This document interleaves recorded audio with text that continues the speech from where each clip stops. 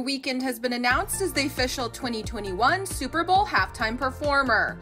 The Grammy winner announced the news on his Instagram page, sharing a promotional photo and writing, performing on the iconic stage. See you February 7th, 2021.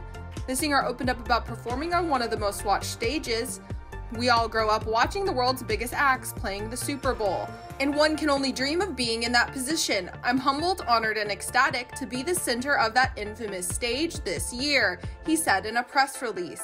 Jay Z also issued a statement in the same release that read, the Weeknd has introduced a sound all his own. His soulful uniqueness has defined a new generation of greatness in music and artistry. This is an extraordinary moment in time, and the Pepsi Super Bowl 55 halftime show is going to be an extraordinary experience with an extraordinary performer. Fans were loving the announcement and took to social media to share their reactions. The Weeknd performing halftime at the Super Bowl is the highlight of my day, one person wrote. Blinding lights at the Super Bowl is going to be insane, another said.